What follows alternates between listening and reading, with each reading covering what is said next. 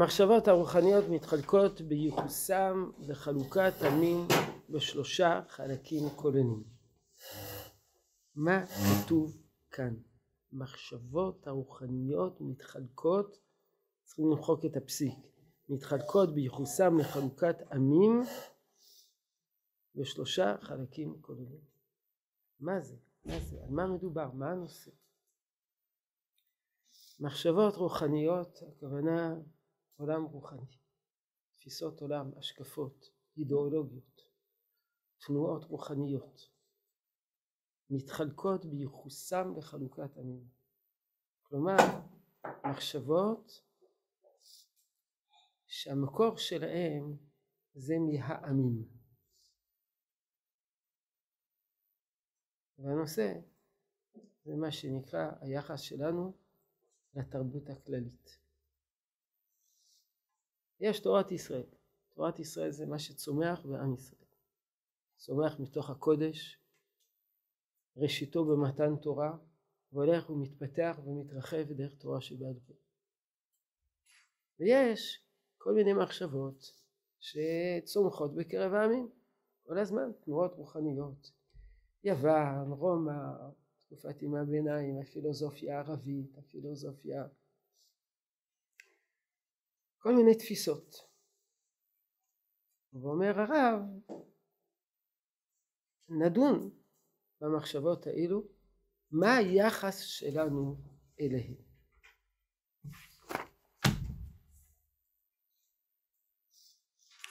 אז לפני שנצלול בדברי הרב, ננסה קצת להבין מה אמרו גדולי ישראל על כך.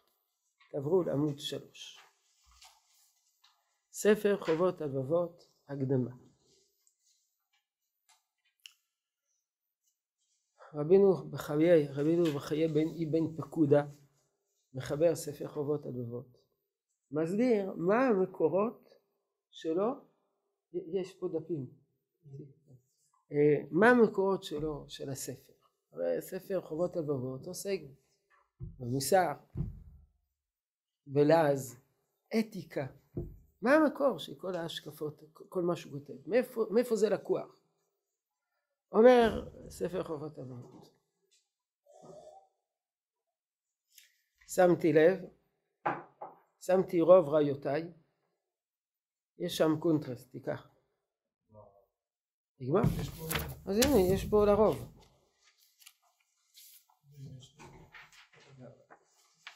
שמתי רוב רעיותיי עליו מן הדברים המושכלים וקירבתים בדמיונים הקרובים אשר אין בהם ספק אז מה הוא אומר? מה הבסיס הראשון לדבריו? הדברים המושכלים זאת מה זה הדברים המושכלים? פילוסופיה דברים שמבוססים על ההיגיון וקירבתים בדמיונים הקרובים. כלומר ניסיתי להסביר עד כמה זה קרב את זה, נבין את זה, בקירובים הדיומים אשר אין בהם ספק. כלומר התבססתי בעיקר על דברים שהם הם, יש להם אה, תשתית ברורה ושמחתי להם מה, שכת, מה שמצאתי כתוב בספר הנביאים. תנ"ך. אחר כך שמחתי להם דברי הקבלות שקיבלנו מרבותינו ז"ל, כלומר תורה שבעל פה. ומן החסידים והחכמים שבכל אומה שהגיעו דבריהם, הגיעו דבריהם, דבריהם אלינו נקודה מפני שפסיק, מפני שקיוויתי שיהיו הלבבות נוטים אליהם ומקשיבים אל חוכמתם. זאת אומרת אני גם השתמשתי בהוגים הוגים מאומות העולם, חכמים, חסידים וחכמים שבכל אומה. הבאתי את דבריהם. כמו דברי הפילוסופים ומוסר הפרושים ומנהגיהם המשובחים. וכבר אמרו רבותינו ז"ל, כתוב אחד אומר כמשפטי הגויים אשר סביבותיכם עשיתם, וזה ביקורת. מה פתאום עשיתם כמשפטי הגויים אשר סביבותיכם? וכתוב אחד אומר לא עשיתם כמשפטי הגויים אשר סביבותיכם. זה שני פסוקים. שואלים חז"ל הכיצד? עונים חז"ל כמתוקנים שבהם לא עשיתם כמקולקלים שבהם עשיתם.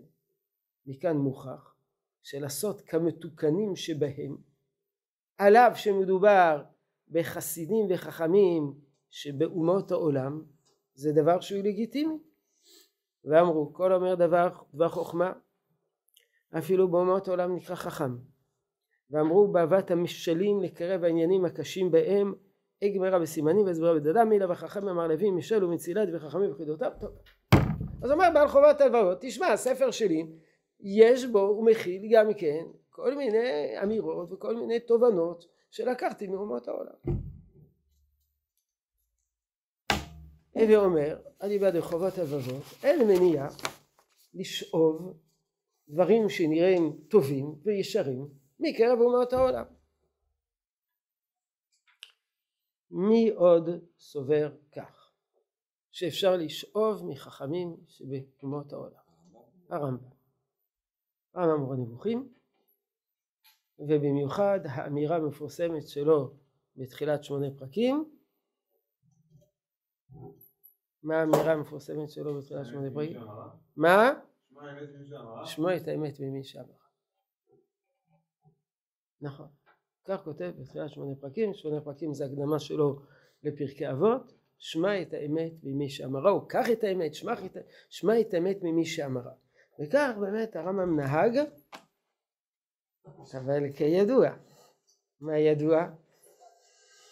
שבגלל זה התנגדו למורה הנבוכים, עד כדי כך שאפילו הייתה תקופה בתקופת ימי הביניים ששרפו את המורה הנבוכים. והרשב"א היה צריך להתערב בדבר הזה ולהכריע ולהתעסק בזה וכתב קונצרס שלם שנקרא קונטרס מנחת קנאות לדון האם מותר לעסוק בפילוסופיה כאשר הנושא זה בעצם מורה נבוכים של הרמב"ם. למה התנגדו ל... ל... ל... ל... ללמידה פילוסופיה כללית? למה, למה אולי לא התנגדו ללמידה בגלל שיש כל מיני מטרות בלמידה. אבל בכל אופן התנגדו אה, ללמוד את זה בשביל להבין, בשביל להחכים. למה התנגדו? אז יש אה,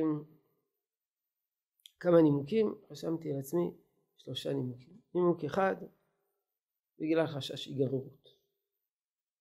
אז תתחיל ללמוד פילוסופיה כללית, סופה מישורנה. זה, זה הסיבה. זאת אומרת לפי זה אין, אין, אין בעיה עקרונית, יש בעיה חשש של שלא שתיגרם. יש סיבה נוספת וזה ה, ה, וזה מוזכר אצל גדולי ישראל, נראה אחר כך בהמשך אצל המהר"ל, ההשוואה והתייחסות הזהה, יש פה דפים, ההתייחסות הזהה יש פה דפים. פה, פה, פה. רגע, אין פה דפים?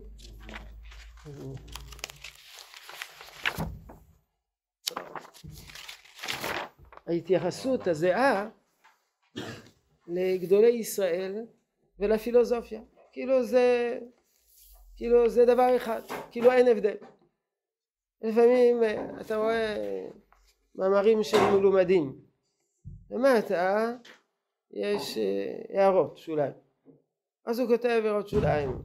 אה, כך כתב יהודה הלוי, משה בן מימון, פרופסור אה, פלו פלו פלו פלו פלו. פרופסור פלו פלו פלו, שהוא איזה גוי אפיקוירס, יהודה הלוי, משה בן מימון, כולם נכנסים לקערה אחת. בעקבות הרמב"ם, הרמב"ם אומר, כששואלים אותו לגבי עיסוקו בפילוסופיה, הוא כותב שהעיסוק שלי בפילוסופיה, הפילוסופיה כלפי התורה זה כמו רקחות וטבחות. התורה זה הגברת. אלה הם רקחות וטבחות. מה זה רקחות וטבחות? משרתים. הכרת ה...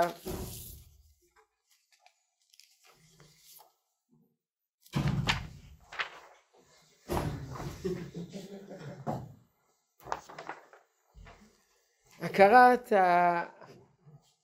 ההבחנה בין, בין, בין גדולי ישראל לבין שיונקים מן התורה לבין חוכמה שהיא בחוץ. לפעמים נוצר טשטוש, אנשים מצטטים גדולי ישראל ואיזה פילוסוף ואיזה זמר ואחר כך עוד איזה שחקן קולנוע וכל זה מזה איזה מיצ'מש אחד גדול וקוראים לזה אחר כך אה, אה, אה, ארון הספרים היהודי. כל אלה התייחסויות כל אלה התייחסויות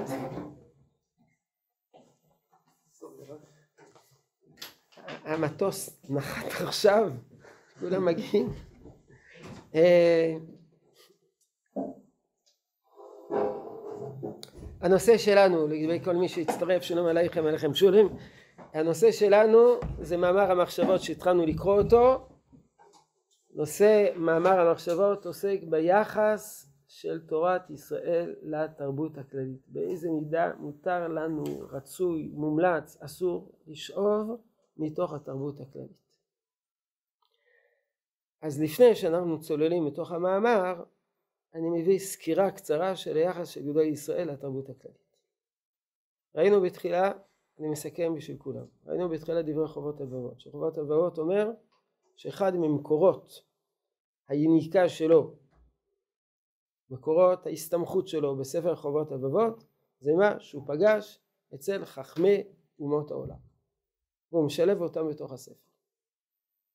וכמו שנאמר, שכמתוקנים שבהם אפשר לקחת, אפשר לחכות את המתוקנים שבהם. הרמב"ם, שמע את האמת, תחילת שמונה פרקים, שמע את האמת ממי שאמרה, ומורה נבוכים שהוא כל הזמן מצטט מאומות עולם, מפלפל בהם, לומד מהם, מסיק מהם. ומנגד גדולי ישראל שציוו לשרוף את המורה נבוכים בגלל שהוא שאוב מתוך הפילוסופיה האריסטוטלית. עכשיו סקרנו למה גדולי ישראל התנגדו לעיסוק בתרבות כללית. נימוק ראשון, חשש היגררות. נימוק שני, טשטוש בין תורה לבין פילוסופיה כללית. כאילו, זה חוכמה, זה חוכמה, זה חוכמה, זה חוכמה, אין הבדל בין חוכמה שמקורה אלוקית לבין חוכמה ש- שהמקור שלה הוא אנושי. המהר"ל היה מראשי המתנגדים, מראשי המבקרים את הגישה הזאת. בתקופתו של המהר"ל היה חכם יהודי, תמיד חכם עצום, שקראו לו רבי עזריה מן האדומים.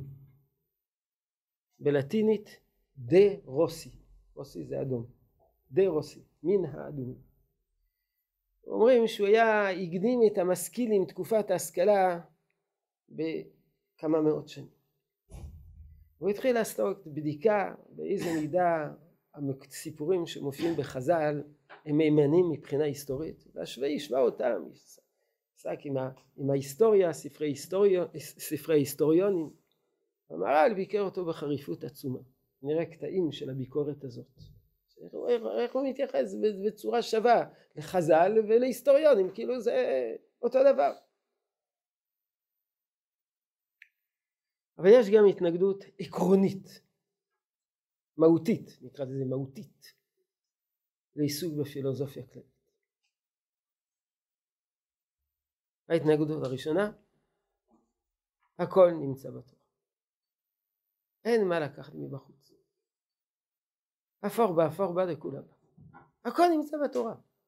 אז מה, מה, אם הכל נמצא בתורה, מה אתה מחפש דברים מחוץ לתורה? היינו בהקדמתו של הרמב"ן לתורה, דברים מופלאים שבמופלאים, שהרמב"ן אומר שם כל החוכמות, כל המדעים, כל העתיד, כל הכל הכל הכל הכל כתוב בתורה, בתורה שבכתב. איך זה, איך הכל כתוב בתורה שבכתב? אומר הרמב"ן, תלוי איך אתה מסדר את האותיות של התורה. איך אתה קורא את התורה. אפשר לקרוא את התורה כמו שאנחנו קוראים, אפשר לסדר את האותיות באופן אחר, ואז כל הכל מתגלה, כל, כל החוכמה מתגלה, מכל מקום, גם אם נגיד שלא כל החוכמה מתגלה בתורה. תמיד שואלים מה, גם כתוב בתורה מה מספר הנעליים שלי? שאלה, תלמיד כיתה ט' בישיבת יכולת וכולי, לא, זה לא, לא מוכרח להיות כתוב בתורה מה מספר הנעליים שלך, זה לא מעניין. אבל כל מה שקשור לחוכמה, לא תיאור המציאות, מה מספר הנעליים, אלא מה שקשור לחוכמה, נקרא לזה יותר מזה, למוסר, לדעת, אז זה ברור שזה כתוב בתורה. אז בשביל מה לעסוק בפילוסופיה כללית? והנימוק הנוסף, אי אפשר לסמוך על השכל. תורה מן השמיים, חוכמה אלוקית. השכל אנושי אי אפשר לסמוך עליו, הוא מתעתע, הוא, הוא טועה, הוא משתבש. אנחנו רואים את זה. עובדה שהמדע הולך ומשתנה ומשתנה ומשתנה ומה, רק ומה שחשוב שזה אמת לאמיתה תורת אריסטו אחר כך אה, מחקו את הכל ואחר כך התחילה, התחיל המדע המודרני עם ניוטון ועם קפלר וכולי והכל השתנה הרמב"ם בתחילה בהלכות יסודי התורה מתאר את, את מבנה העולם של של התלמאים, גלגלים, אחר כך הגיע קופרניקוס ואחרים ושינו את כל תמונת העולם. אי אפשר לסמוך על המדע, המדע משתנה וגם הפילוסופיה משתנה. הייתה תקופה של המודרניזם ואחר כך עברנו לתקופת הפוסט מודרניזם אז אי אפשר לסמוך על השכל אז מה אתה עוסק בזה? היום זה, היום זה נכון, מחר זה לא נכון. ודאי שהרמב"ם לא סבר כך. כשהרמב"ם אומר שמע את האמת ממי שאמרה, הרמב"ם מתכוון לומר שאפשר כן לסמוך על זה. וכאשר כאשר בעל חובות הלבבות אומר שאפשר לשאוב מן, ה, מן החסדים והחכמים שבכל אומה שהגיעו דבריהם אלינו, אז זה הוא מתכוון שכן אפשר לסמוך על השכל. שאלה. זה שהכל כתוב בתורה זה לא מה שאנחנו יודעים, אנחנו יכולים, אה, יש דברים כאילו, נגיד, אמרו הקורונה תגיע, מאיפה לנו לדעת את זה? שמה, שמה? נגיד, יגידו לנו שכתוב בתורה הקורונה תגיע, מאיפה לנו לדעת את זה? גם המדע לא ידע. כן, גם המדע לא ידע שהכל... אבל לכן אמרתי, הקורונה תגיע או לא תגיע זה כמו מהמספר הנעליים שלי. לא, אני אומר כאילו, כולם חכמים בדיעבד להגיד מה כתוב לכן אני אומר שזה לא לגבי עניינים מציאותיים, לגבי המוסר, לגבי תובנות רוחניות. אפשר להגיד שמה שהרמב"ם סובר שאני יכול להגיע על פי השכל זה כל עוד זה מובא בתורה. כי יצא לי קצת ללמוד חובות הלבבות זאת אומרת כל דבר שהוא אומר הוא גם מביא פסוקים. זה מה שהוא כותב. אז אבל, זה, אז אבל, אבל, אני יכול לסמוך על השכל כי אם אני מביא לזה ראיות מהתורה אז זה, אז זה כאילו תופס. זה כאילו תופס. אבל אם כך אז בשביל מה יכול להביא מהם? תביא תביא תביא תסתפק בתורה. אז אם זה כתוב בתורה כתוב בתורה אז מה צריך את הפילוסופיה הכללית, כתוב בתורה. ואם זה לא כתוב בתורה אז אתה דוחה את זה, אז, אז מה? אז מה? זה מה שהוא אמר. שדברים ש... אתה צריך את המקור מהאלוהים כדי לבנות על זה את הבסיס ביהדות, אתה לא יכול לא למצוא את זה, את המקור ביהדות. למה? למה? זה מה, מה, תביאו דוגמה, לא המספר הנעליים שלי, ולא הקורונה, מה, מה? שאדם צריך להיות ישר, וצריך להיות צדיק, ולא לרצוח ולא לגנוב פילוסופיית החוכמות זה נקרא עשרת הדיברות. זה נקרא אתיקה זה נקרא מוסר. שיש אלוקים זה כתוב בתורה. שהוא ברא את העולם כתוב בתורה. וזה כתוב בפילוסופיה של מי? גן עדן וגיהנום. נצרות. איך הגעת לנצרות?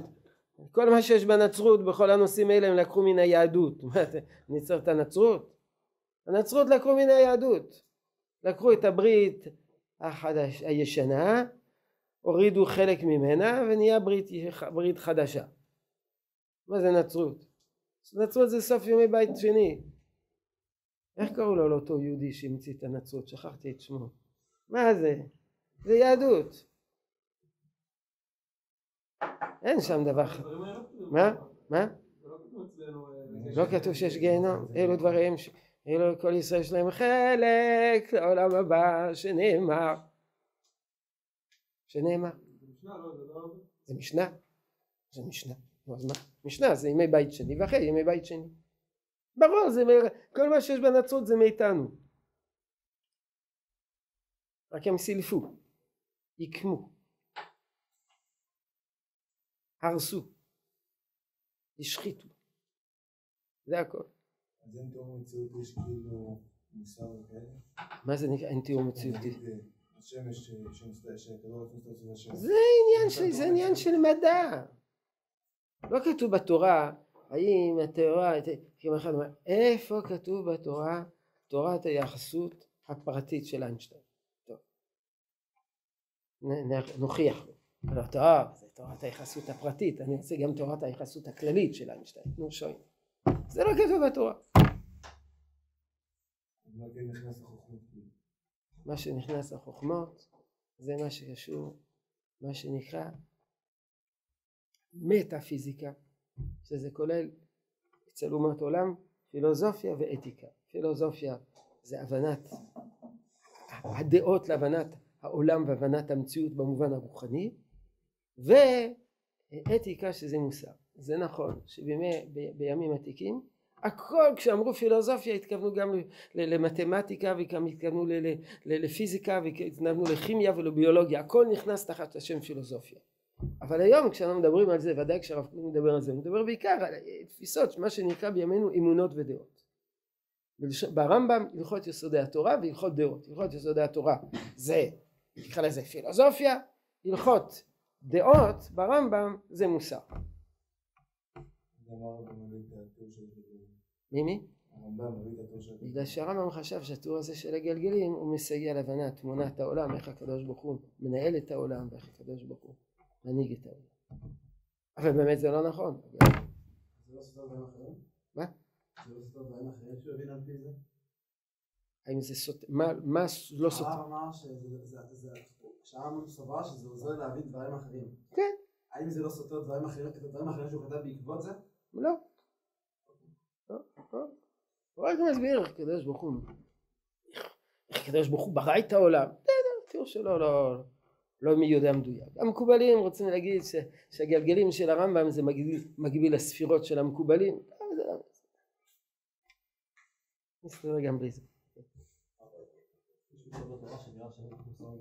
נגיד, שמה שמה שמה?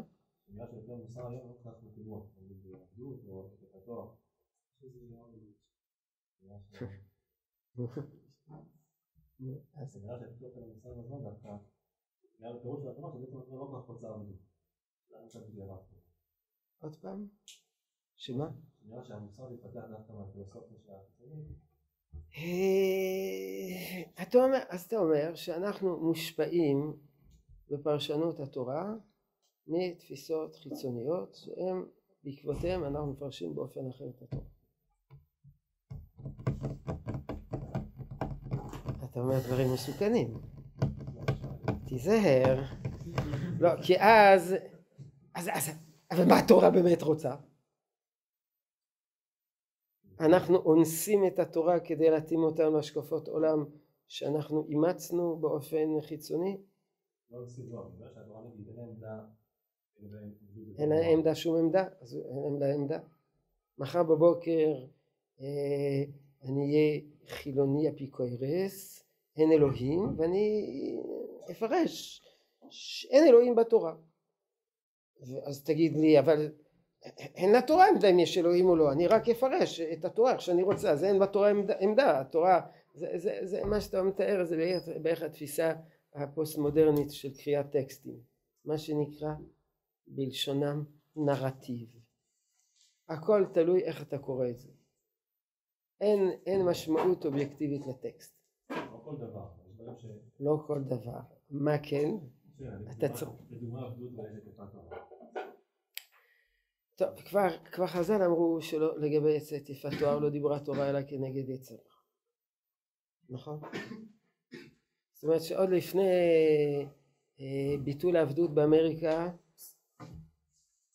עוד לפני ביטול העבדות באמריקה כבר חז"ל אמרו שלא דיברה תורה סליחה לא לגבי ביטול העבדות לגבי אשת יפת תואר כבר אמרו שזה לא טוב ולגבי עבד אני אצטט מאמר חז"ל כל הקונה עבד מה?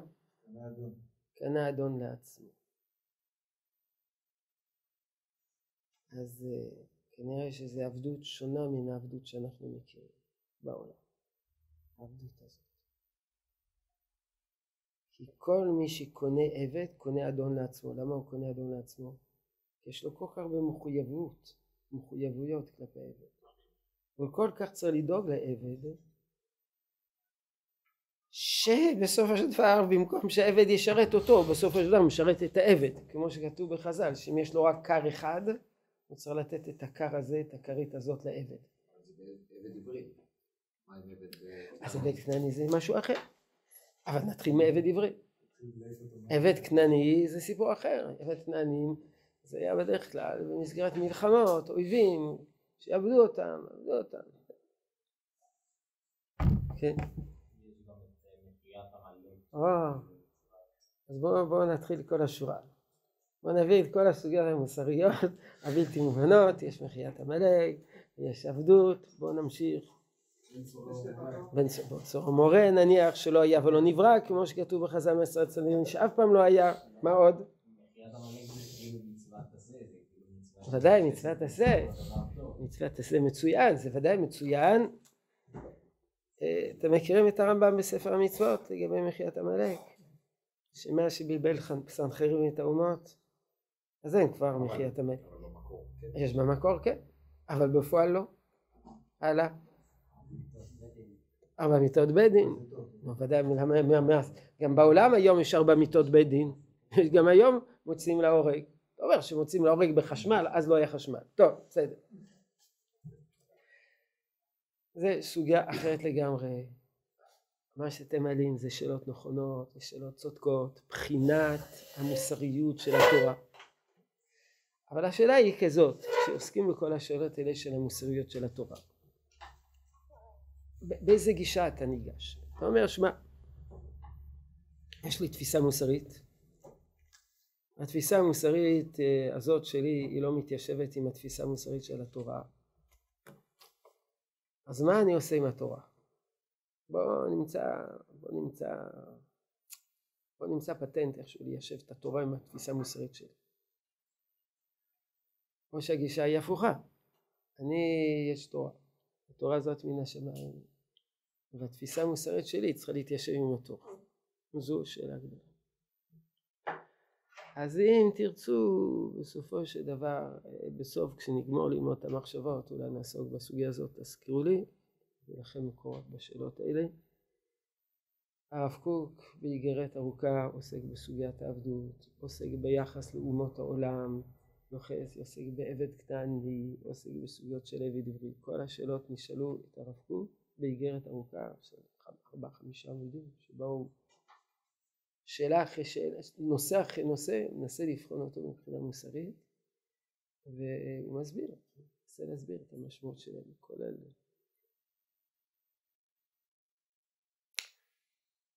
מהר"ל, מהר"ל, המהר"ל גם כן עסק בשאלה הזאת, מופיע בסוף העמוד הראשון, אה, אה, אה, אה, לפני שאני עובר למהר"ל, לפני שאני עובר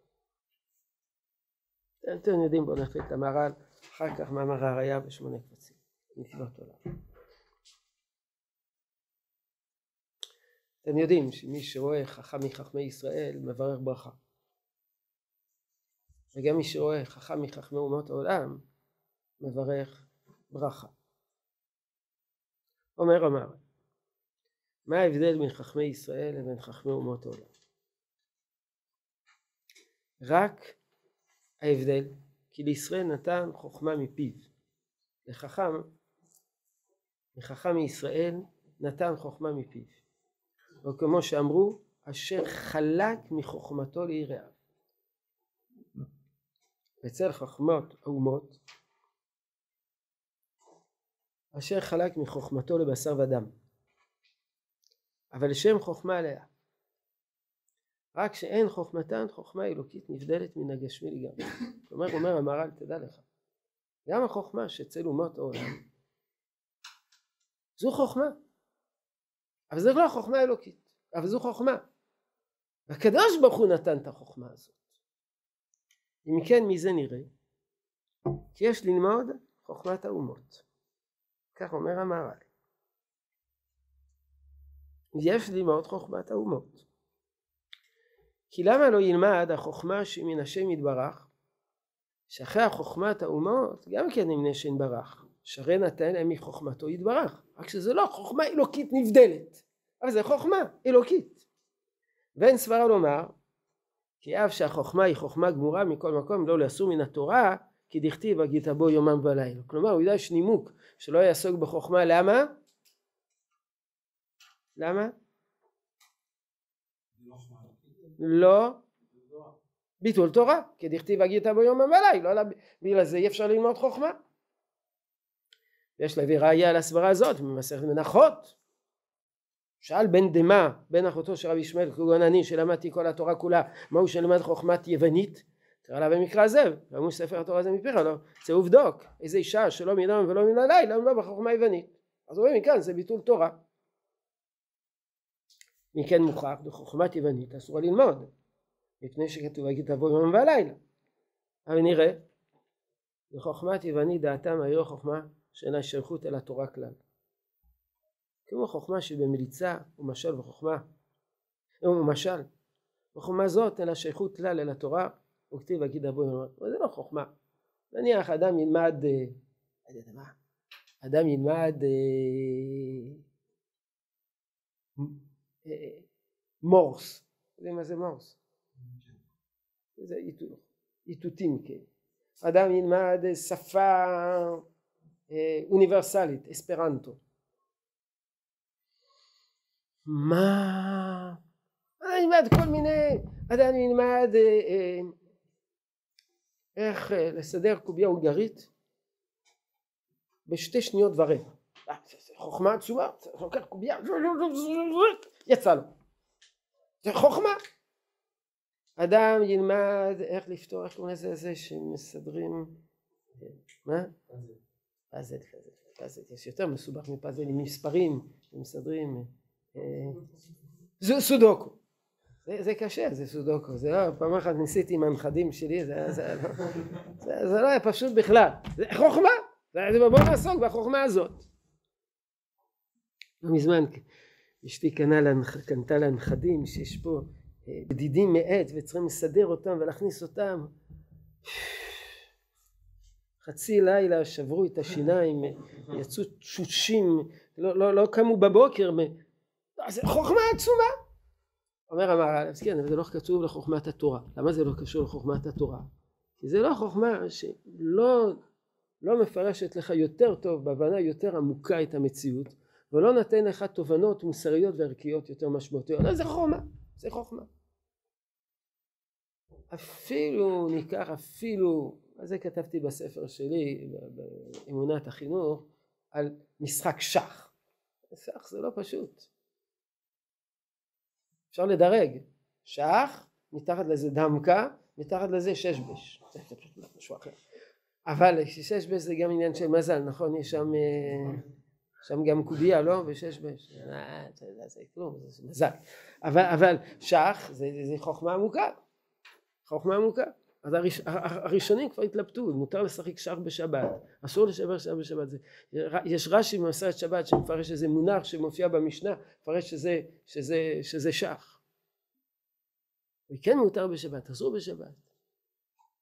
זה אומר המהר"ל, זה על זה נאמר שלא ללמוד, לא לעסוק בזה, בגלל שזה ביטול תורה, מה, מה זה עוזר? היה ראש ישיבה אחד, גאון מופלג, שבפורים היה משחק סימולטני עם שישה תלמידים בלי להחזיק, איך קוראים לזה, בלי להחזיק את ה... קוראים לזה את ה... איפה ששמים את כל הכלים, בלי, בלי להחזיק לוח, היה משחק נגד שישה תלמידים בלי להחזיק לוח. מה? מה זה אומר? היה משחק שח מול שישה תלמידים בלי להחזיק לוח. לא היה לו לוח. הוא לא ראה את הלוח. מי? עיניים להם ולא יראו, הוא ניצח אותם. ודאי שהם ראו, הוא ניצח אותם.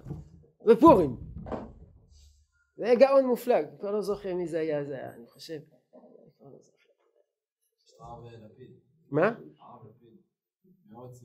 נו. גם, נראה לי שזה אדם. לא, זה לא. אחד אחר, לא, זה לא. אחד מראשי ישיבות בדור הקודם, בדור הקודם. לא זוכר, זה... לא זוכר איזה היה.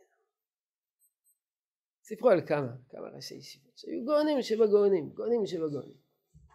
בסדר, זה בפורים. ספר את זה בגלל פורים. אז פורים הוא שיחק שח. אבל לא שהוא בילה כל הימים שלו שיחק שח. אומר המהר"ל, זה נאמר כשחוכמה יוונית זה ביטול תורה. אבל לדעת מדעים, לדעת איך הקדוש ברוך הוא מנהיג את העולם, ללמוד פיזיקה, כימיה, ביולוגיה, אסטרופיזיקה, פיזיקה גרעינית וכדומה, זה ברור שצריכים ללמוד זה. זה מה שאומר. אבל החוכמות לעמוד על המציאות וסדר העולם ודאי מותר ללמוד. תבין איך הקדוש ברוך הוא מנהל, ברא את העולם ומנהיג את העולם. מותר מתכוון כאילו ש... הכוונה שלא, אין חובה מסיבה פשוטה. כי יש כאלה שגם אם ישתדלו לא יבינו כלום. ומזה נלמד כי כל דבר שהוא לעמוד על מהות האדם יש לאדם ללמוד. הוא מחויב הוא בזה. למה? כי הכל מעשה השם הוא. ויש לעמוד עליהם ולהכיר על ידי זה בור אמנם עדיין צריך עיון שלא יסעו ללמוד מרב שאינו הגון מי זה הרב שאינו הגון כאן? כולם? גם אני? לא, כל כל עמי. אז מה זה כולם? אריסטו, כל, כל ה... נכון, כל, כל, כל המדענים של, וכל חכמי אומות העולם. אני מזכיר שוב שבאותה תקופה כל זה נכנס ככה תחת קטגוריה אחת. איזה קטגוריה? פילוסופיה. הכל זה נקרא, גם מדעים, גם כימיה, גם בוטניקה, גם ביולוגיה, הכל זה נחשב פילוסופיה. אתה לומד רב שאינו הגון, אסור ללמוד מרב שאינו הגון, זה גמרא. כמו שהתבהר למעלה אצל רבי מאיר שלמד תורה מאחר, חישה בן אבויה, וגם זה נורא היה. תראו דבר נפלא, שם אמר כשהוא לומד מפיו, יש לו התקרבות וחיבור אל הרב שמקבל ממנו. שאותו רב אינו הגון, לכך אסור. אבל מן החיבורים, מן הספרים שחיברו אין שער זה. דבר נפלא. מה שאסור ללמוד מרב שאינו הגון זה, זה ללמוד מפיו, כי על ידי זה נוצר איזה חיבור, חיבור נפשי, קשר. אתה, אתה מחובר אליו, אתה תלמיד שלו. אז אפשר ללמוד מספרים. אז אתה יכול ללמוד פילוסופיה מספרים.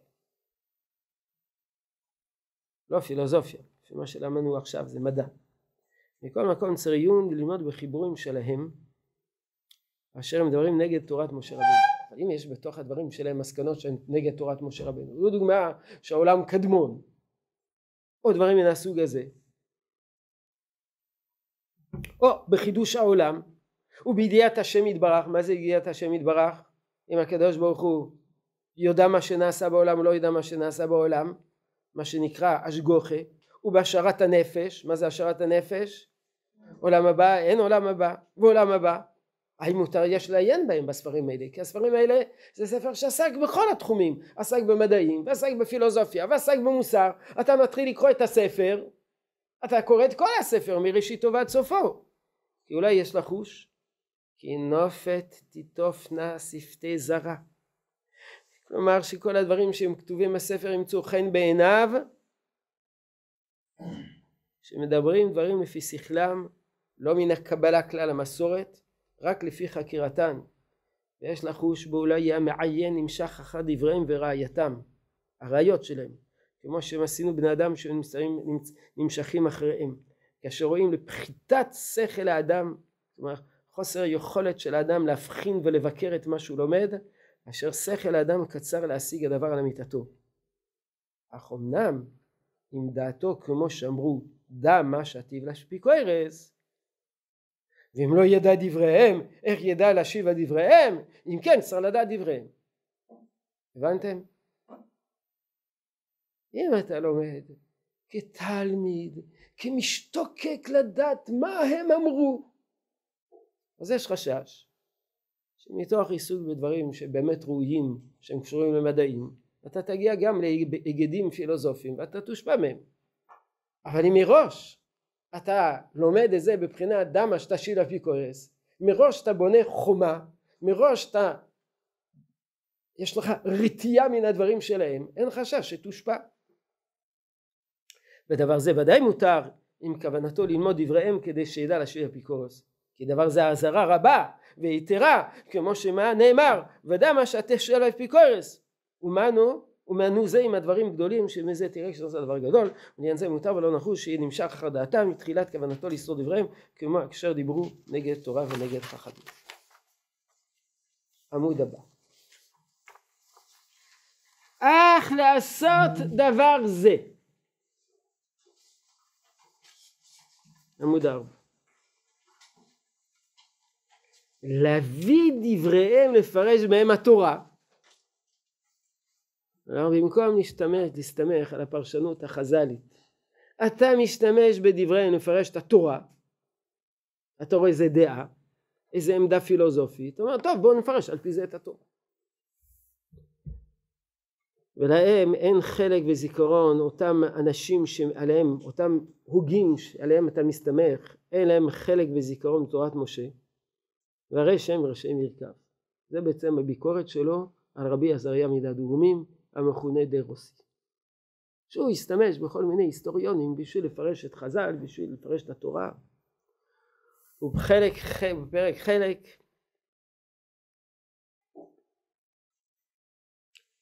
הוא מביא איך אמרו דברים מפני אלו אשר לא האמינו בתורת משה כלל. ולא מצאנו דבר זה בתלמוד להזכיר את אחד אבי ממנו שום דבר חוכמה את אשר לא יהיה לו חלק בתורת משה.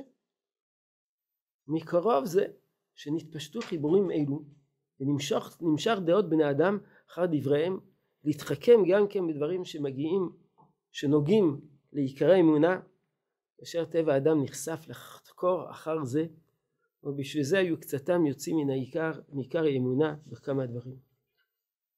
טוב, תקראו את כל החלק הזה, הוא מדבר על השגחה, מדבר על השגה, תראו את הקטע הזה. אבל אני רוצה לחזור לדברי הרב קוק בעמוד שלוש. אני מזכיר, הנושא של המאמר שלנו המחשבות זה יחס לתרבות הכללית.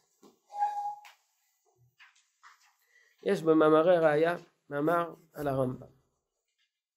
היה היסטוריון דתי, היו שני היסטוריונים דתיים גדולים בתקופת הרב קוק.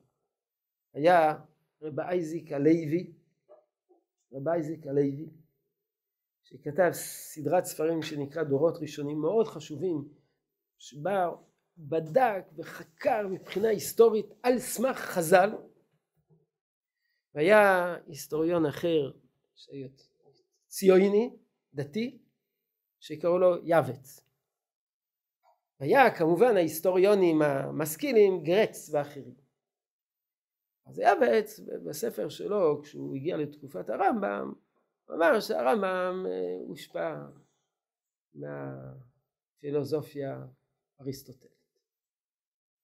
נאו-אריסטוטלית. והוא כתב על זה בביקורת עצומה נגד הרמב"ם שזה רמב"ם. על זה כותב הרב קוק במאמר הראייה אחרי חובות הלבבות. ולא אדע מאמר שלם שהרב קוק כתב על הרמב"ם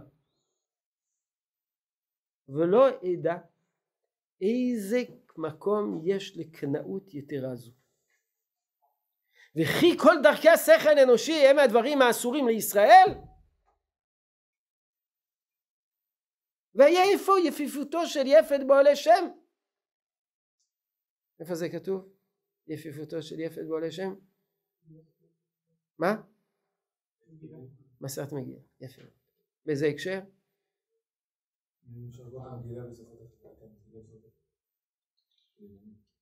כמעט? כמעט? יש דעה שאומרת שתורה, ספר תורה אפשר לכתוב אותו או בעברית או בעברית. תורה. תורה. לא מגילה, תורה. אפשר לכתוב את התורה בעברית. למה? כי יפיפותו של יפת גאול השם. יפת אלוקים ליפת, יפיפותו של יפת השם. אז אתה רואה? עכשיו אומרים מה זה יפיפותו של יפת גאול השם? מקובל לנו שזה אפלטון, לא אריסטו. יפיפותו של יפת גאול השם, כך מקובל לנו שזה אפלטון ולא אריסטו. אז אתה רואה שמותר. ויהיה השיתוף הכללי מצד צלם אלוקים הכללי שנתן הקדוש ברוך הוא באדם. יש הצלם אלוקי הישראלי המיוחד שנקרא סגולה אלוקית. אבל יש צלם אלוקים כללי שמשותף לכל בני אדם ובהיות משותף לכל בני אדם יש בו איזה משהו מכנה משותף רוחני. אז אם יש איזה מכנה, מש... מכנה משותף רוחני, מכנה משותף רוחני הזה אמור ליצור גם דעות משותפות בדברים מסוימים שאפשר ללמוד מהם והם ילמדו מאיתנו. שמתוך כך אנו מכבדים את כל חכם ישר לב שבכל האדם ואנו מקבלים את האמת מכל מי שאמרו ואומר דבר חוכמה בספרותינו הנאמנה אפילו באומות העולם נקרא חכם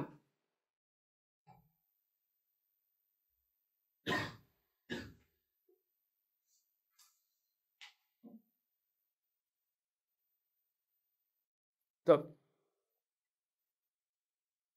גם הפסקה הבאה צריכים לקרוא, אבל לא נקרא אותה עכשיו, אולי נקרא אותה בפעם הבאה. אני מתחיל את המאמר, מעט מן המאמר. אז מה ראינו עד עכשיו? אם אנחנו מסכמים באופן כללי את מה שראינו. מחלוקת. ראינו מחלוקת. גדולי ישראל שאמרו שאי אפשר לשאוב מאומות עולם. יש חכמי ישראל שאמרו שכן אפשר לשלוט אומות העולם. הבעל חובות הלבבות, רבי יוחנן בן פקודה והרמב"ם אמרו שכן אפשר לשאול מאותו עולם.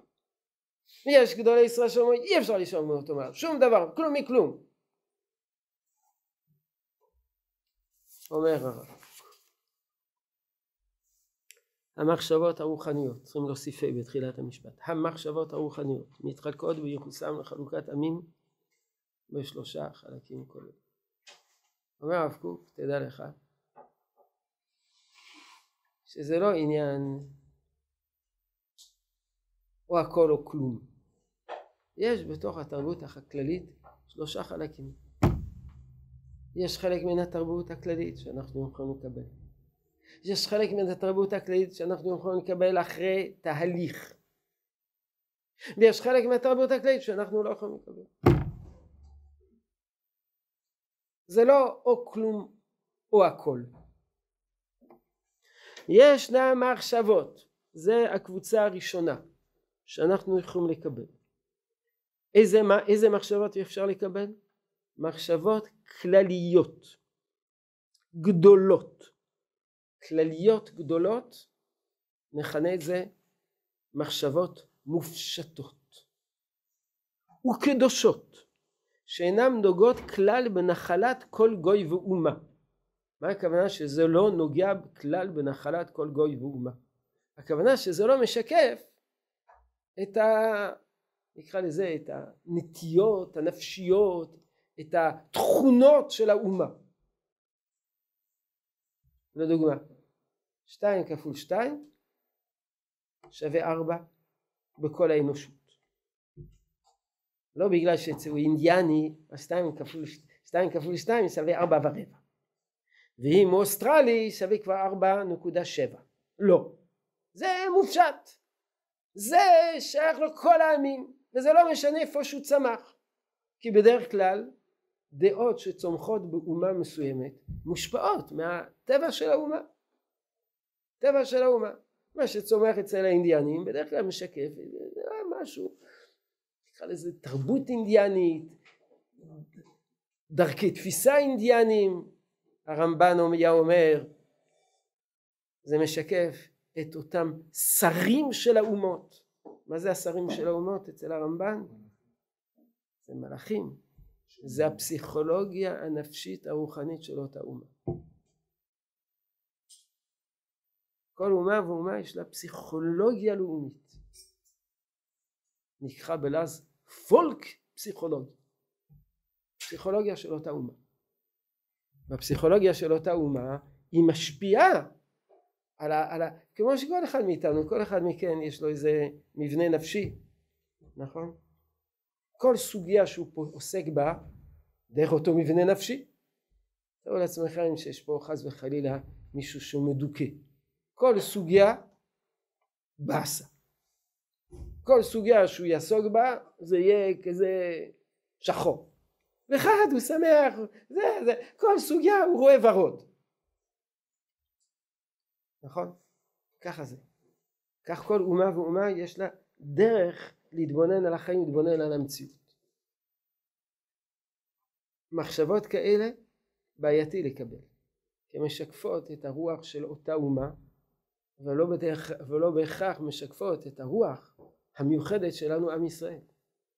אבל אם ישנן מחשבות כלליות, מופשטות, אז הבאתי דוגמה 2 כפול 2, 2 כפול 2 כמובן זה לא רלוונטי, זה ברור, על זה אין ויכוח. אלא יביא דוגמה, שאינם נוגעות כלל בנחלת כל גוי ואומה. וכל חכמי לב, וכל קדושי רוח, שבכל האדם אשר על פני האדמה, שווים בהם לטובה, אז אין שום הבדל איפה זה צמח, אצלנו, אצל, זה, זה משהו, נכס רוחני תרבותי כלל אנושי. מעיד אני עלי שמיים וארץ, בין ישראל בין נוכרי, כך כתוב במדרש. מעיד אני עלי שמיים וארץ, בין ישראל בין נוכרי, בין איש בין אישה, בין עבד ובין שפחה. הכל לפי המעשה שהוא עושה, כן רוח הקודש שורה עליו.